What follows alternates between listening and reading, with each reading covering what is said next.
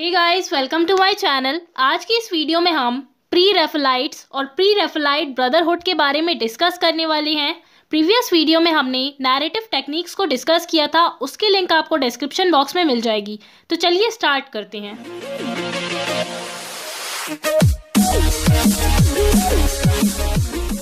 Pre Raphaelite एक group था English poets painters and critics का, जो कि 1848 में फाउंड किया गया था। प्री रेफलाइट ब्रदरहुड सितंबर 1848 में फाउंड किया गया था। ये नाइनटीन सेंचुरी का इंग्लैंड का बहुत ही इम्पोर्टेंट आर्टिस्टिक ग्रुप था।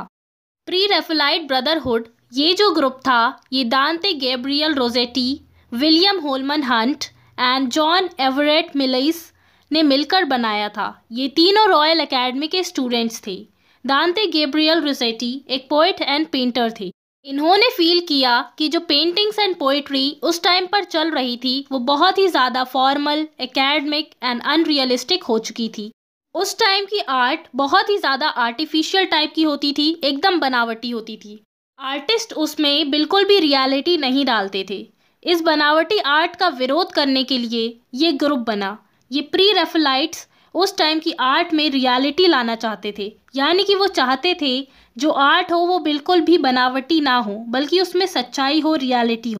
आर्ट ऐसी हो, जिससे हमें एन्जॉयमेंट फील हो एंड जिसे हम अपने सेंसेस से फील कर सकें। ये group fourteen and fifteen century के इटालियन आर्ट से बहुत ज़्यादा इंस्पायर था। ये ग्रुप उस इटालियन आर्ट से बहुत ज़्यादा इंस्पायर था, जो राफेल की टाइम से पहले की थी। यानी कि राफेल से पहले जो भी इटालियन पेंटर्स थे, उन इटालियन पेंटर्स से इस ग्रुप ने बहुत ज़्यादा इंस्पिरेशन ली। राफेल एक इटालियन पेंटर थे।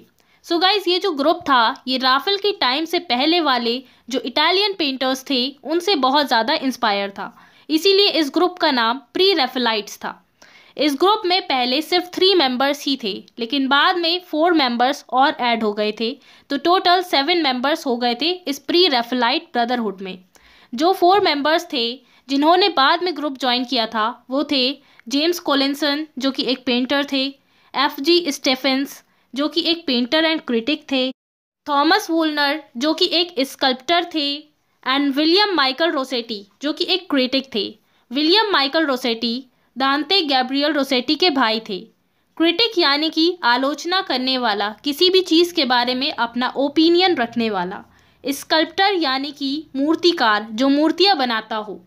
इन सातों के ग्रुप को प्री रेफलाइट ब्रदरहुड इसीलिए बोला जाता है क्योंकि इन सातों ने बहुत भाईचारा दिखाया। इन सातों मेंबर्स की एज 25 इयर्स से कम थी। इस ग्रुप का मेन एम उस टाइम की आर्ट को प्योरीफाई करना था। दांते गैब्रियल रोसेटी की painting girlhood of Mary Virgin. एक बहुत ही शानदार पेंटिंग है, जिसमें हमें नेचुरल एलिमेंट्स देखने को मिलते हैं। जॉन एवरेट मिलाइस की painting Christ in the house of his parents को रॉयल एकेडमी में पब्लिकली डिस्प्ले किया गया था। मिलाइस नेचुरलिस्टिक टेक्निक को यूज़ करने में माहिर थे। इन्होंने अपनी इस पेंटिंग में बाइबल के फिगर्स को, यानी कि बाइबल के कैरेक्टर्स को बहुत ही अच्छे से प्रेजेंट किया है। 1850 में प्री रेफलाइट्स ने एक literary and artistic magazine found करी थी, जिसका नाम द जर्म था। इस मैगजीन में ये अपने आर्टिस्टिक चिंताओं को एक्सप्रेस करते थे।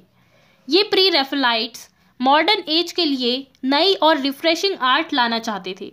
इन प्री रेफलाइट्स ने शेक्सपियर कीट्स एंड टेनिसन से बहुत इंस्पिरेशन ली थी।